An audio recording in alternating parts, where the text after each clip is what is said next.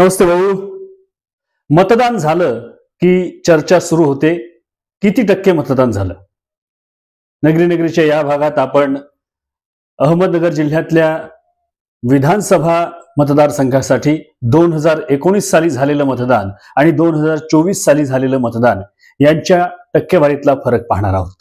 निवडणुकीच्या बाबतीत सर्वसाधारण असा समज आहे की जर मतदानाची टक्केवारी वाढली तर ती वाढलेली टक्केवारी ही जो कोणी नवीन उमेदवार असतो त्याच्या पारड्यात जाते.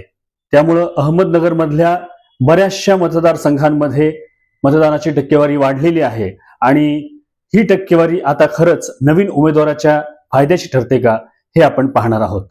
अर्थात या भागामध्ये आपण फक्त दोन हजार एकोणीस आणि दोन हजार चोवीस या दोन विधानसभा निवडणुकांमध्ये मतदान ज्या टक्क्यांनी झालं त्या टक्क्यातला फरक आपण पाहणार आहोत. आम्ही हा फरक आपल्यासमोर मांडू आणि आपण मात्र ठरवा की मग आपल्या मतदारसंघाचा भावी आमदार कोण असेल? अर्थात या भागानंतर लगेचच आपण पुढच्या भागामध्ये अहमदनगर जिल्ह्याच्या बारा विधानसभा मतदारसंघाचे आमदार कोण कोण असणार आहेत याचा अंदाज आपण तुमच्यासमोर मांडणार आहोत. आता पाहूया दोन हजार एकोणीसची टक्केवारी आणि दोन हजार चोवीसची टक्केवारी. दोन हजार एकोणीसमध्ये अकोले विधानसभा मतदारसंघामध्ये सदुसष्ट टक्के मतदान झालं होतं. यावेळी ते एकाहत्तर टक्के झालेलं आहे. म्हणजेच चार टक्के मतदान वाढलेलं आहे. त्यानंतर संगमनेरला दोन हजार एकोणीसमध्ये बहात्तर टक्के मतदान झालं होतं. यावेळी ते झालं आहे पंच्याहत्तर टक्के. अर्थात तीन टक्के इथे वाढलेले आहेत.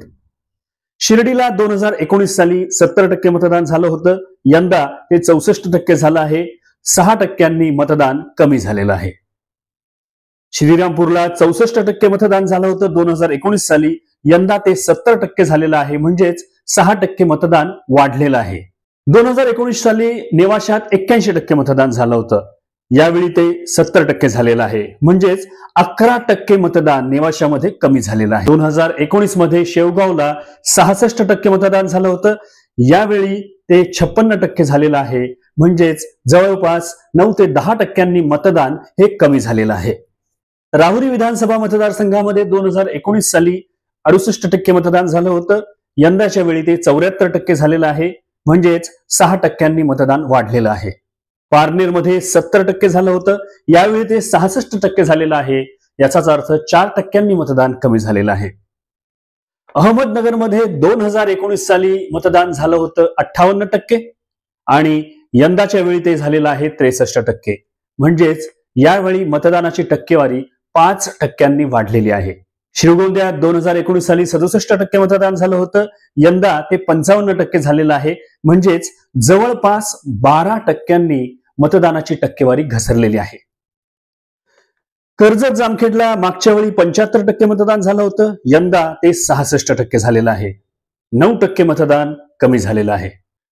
कोपरगावला मागच्या निवडणुकीत शहात्तर टक्के मतदान झालं होतं आणि यंदा ते पासष्ट टक्के झालेलं आहे. त्यामुळं कोपरगावातली निवडणूक ही चुरशीची होणार आहे. तेव्हा नगरी नगरीनं मतदानाच्या टक्केवारीचे आकडे तुम्हाला सांगितलेले आहेत. आता तुम्ही ठरवायचं आहे की तुमच्या मतदारसंघातून तुम्ही कोणाला आमदार म्हणून पाठवायचं ठरवलेलं आहे. या भागानंतर आपण लवकरच पुढचा भाग प्रसारित करत आहोत ज्यामध्ये आपण बारा विधानसभा मतदारसंघातल्या आमदारांची म्हणजेच संभाव्य आमदारांची नावं सांगणार आहोत. अर्थात तोही एक अंदाज असेल आणि जे काही कौल दिलेला आहे. तो मतदारांचा कौल हा खरा कौल असतो. त्यामुळं अंदाज हा अंदाज असतो. आपण त्याकडं अंदाज या पद्धतीनेच पाहायचं असतं. कुठलीही ती काळ्या दगडावरची रेग नसते. तेव्हा या भागात इथंच थांबूया. पण पुढचा भाग पाहायला विसरू नका. आणि त्यासाठी आपलं चॅनल नगरी नगरी युट्यूब चॅनल सबस्क्राईब करायला विसरू नका.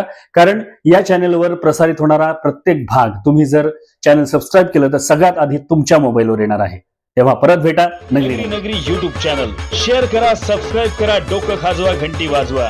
लाईक करा पुढं पाठवा कधी बी बघा आपल्या हक्काचं चॅनल नगरी नगरी युट्यूब चॅनल पांढऱ्याचे पांढरे काळ्याचे काळे. करत राहणार किरण ढाळे.